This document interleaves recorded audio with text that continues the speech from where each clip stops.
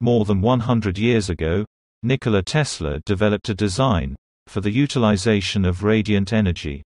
The details of how to collect this energy and perform work is provided in this animation. The system consists of an insulated plate, as large as possible, the charge collecting antenna. The surface should be clean and highly polished. This plate, the antenna, conveys a positive charge to one terminal of the capacitor. The other capacitor terminal is connected to ground, the most convenient way to obtain negative electricity.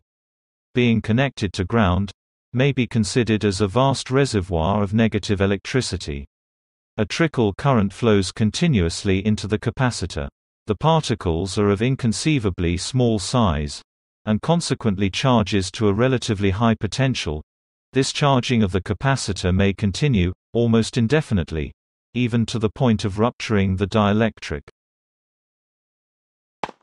To control the charge accumulated, a circuit is placed across the capacitor, with a device, a spark gap, indicated by the letter D. The spark gap, consisting of very thin conducting plates, placed in close proximity, that it will operate, by spark, to close the circuit. When potential in the capacitor has reached a certain magnitude, the accumulated charge will pass across the spark gap, and through this series circuit, to ground. The spark gap should be adjustable.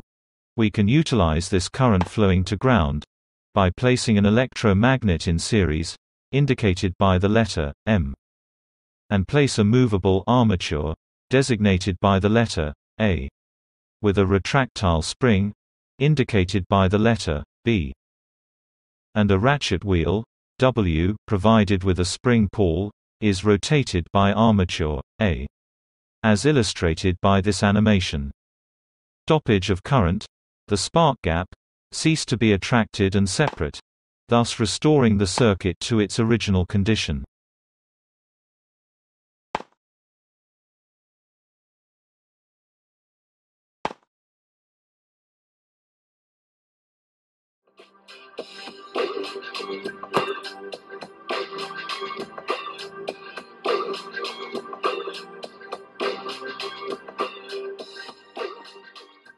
If the gap is too large, the capacitor or electromagnet may be destroyed.